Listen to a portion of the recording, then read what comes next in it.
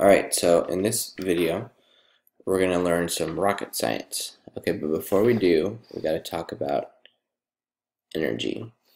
Okay, so, so far we've defined gravitational potential energy as mgh. Okay, well this represents gravitational potential energy actually near Earth's surface. Okay, um, because g is relatively constant near Earth's surface. Okay, but if we're looking at the solar system and we're talking about gravi gravity on a larger scale, we can't use this equation for potential energy. So we only use this when we are near Earth's surface. Okay, for all other circumstances, we have to use something else. Okay, and we're going to go ahead and derive that right now. So remember that gravitational potential energy is equal to the negative derivative of um, the force with respect to distance, okay? And so df dx, or you could use r there, okay? Well, the gravitational force is going to be equal to g m m over r squared. So we're going to integrate this from r, whatever position you're at, to infinity. Okay, and the reason we do infinity is because that's the when we would have the smallest possible force acting on something. Okay, and so we would integrate this. We can pull out g, m, and m, and so we get negative g, m, m the integral from r to infinity of 1 over r squared dr. Okay, so we integrate this and we get um, negative 1 over r and we're going to evaluate that from r to infinity. Okay, and then multiply that by negative gmm. Okay, well, negative 1 over infinity minus negative 1 over r. Okay, this is equal to 0, and this is 1 over r. We multiply by that to gmm, and we get that our gravitational potential energy is equal to negative g m m over r. Okay, and this is what we'll use whenever we're quantifying the gravitational potential energy something has. This is what we're going to use. Okay, so how far away would you have to go from something in order to have zero gravitational potential energy? Well, the smaller r is, the more negative your gravitational potential energy gets. And so in order for this to turn into zero, we would have to make r be equal to infinity. Okay, so the point of this is that if you were to graph your gravitational potential energy as it relates to how far away from something you are, then the closer you get, okay, the more negative it gets, and it's always going to be kind of approaching zero. It says some important consequences, and one of them in particular is this.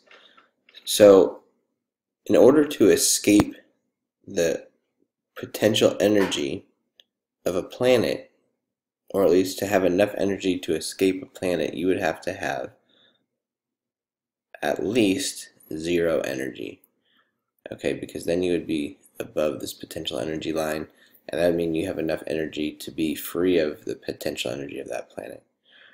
And so um, when we talk about other kinds of energy, well, remember that potential energy is not the only kind of energy that something can have. So maybe something has energy that would be at this level, and the reason why is because maybe it has some additional kinetic energy. Okay, this becomes a really important conversation because we can talk about something called escape velocity, which is an important term for science, for like rocket science, because escape velocity is basically the velocity required to be able to escape the gravitational field of uh, some potential gravity source. And so this is why what it comes down to. It's basically the amount of velocity that you need to have based on your gravitational potential energy so that you can have a total of zero energy, which means you're moving fast enough to escape. Okay, so like if you want to figure out how to get a rocket to Mars, then you would be using escape velocity to figure out how fast it needs to be going. Okay, so we're going to look at this question right here. We have a ball of mass m and a little m, and we're going to move one of them away from the other. Okay, and ask does the gravitational potential energy of this system increase or decrease? Okay, well if this is our equation for gravitational potential energy, and this is our graph, okay, what do you think? Is it increasing or decreasing as we move it away? The gravitational potential energy.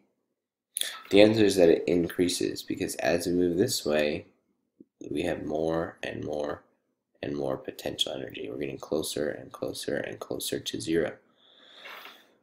Okay, which means that negative work is being done because if we were moving this way, if we're flying this way, gravity is going to be causing us to slow down. Okay. Okay, so here's a question about an asteroid headed toward Earth. It has a speed of 12 kilometers per second relative to the planet, and it's going to have a distance, and it has the speed when it's a distance of 10 times Earth's radius away from the center of Earth. All right, and we want to neglect the effects of Earth's atmosphere on the asteroid. So generally, it's going to get slowed down from the friction there. And we want to find the speed when it hits or reaches the Earth's surface. Okay, um, so this, maybe you're thinking like, I mean, this is a, an a question where we can use conservation of energy because we have a change in relative position to the Earth and we have velocity and because of that change in position the velocity will increase. Okay, and this is 12 kilometers per second which would be 12,000 meters per second. Okay, we'll call so RE would be our final radius, our, our final R. Our initial R is going to be 10 times RE. Okay, and so now we can do conservation of energy. So initially we start with some amount of kinetic energy and some amount of gravitational potential energy. At the end, we're going to finish with some amount of kinetic energy and some amount of gravitational potential energy. Okay, well we know what this is. 1 half times mv squared. We know what this is because we know the radius, so minus gm m over r. On this side we have 1 half mv final squared, and then minus gm m over r. Okay, since the mass of the asteroid is in every part, we can eliminate it. So it won't matter how much mass it has. Okay, in this particular question. Um, and so we get 1 half v squared minus gm over r equals 1 half v final squared minus gm over R, and we'll call this R initial and R final. So from here, if we want to solve for the final velocity, we would add this to the other side. And so we get that 1 half v final squared equals 1 half v squared minus gm over r initial plus gm over r final. Okay, we can do a little more simplifying. I'm going to multiply everything by 2. And I'm going to do some factoring. So v final squared equals, in this case, v initial squared plus gm times 1 over r final minus 1 over r initial. Okay, um, and so let's remember that the radius of the Earth is 6.37 times 10 to the sixth meters.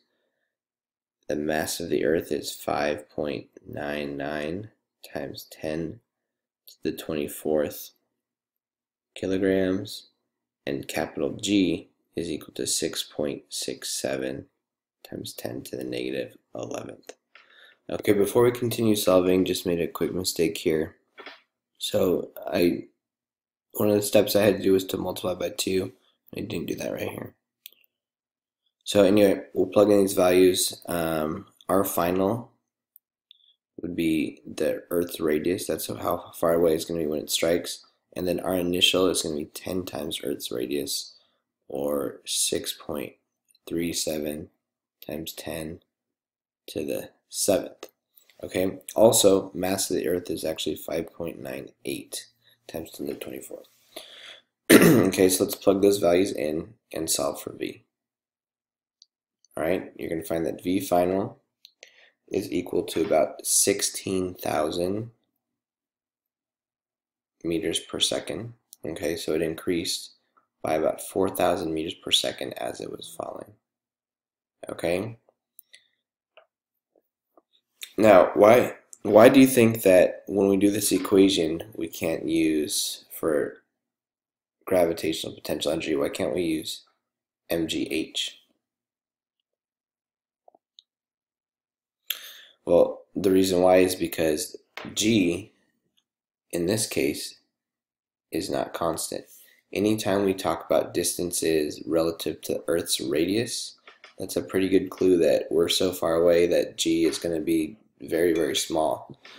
And so it does get larger as we approach, but it's very difficult to, I mean, it's basically the assumption we make when we use lowercase g is that we're close to Earth's surface, and so that since we're not, we can't use it.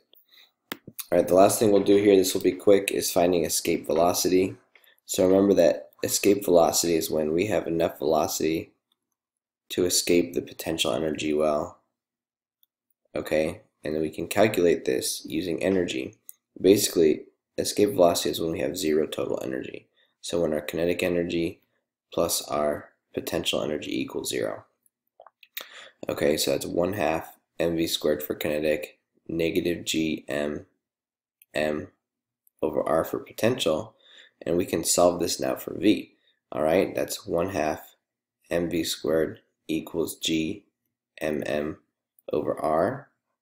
The m's will cancel, we multiply by 2 and take the square root, and we get escape velocity equal to the square root of 2 G capital M over R. Okay?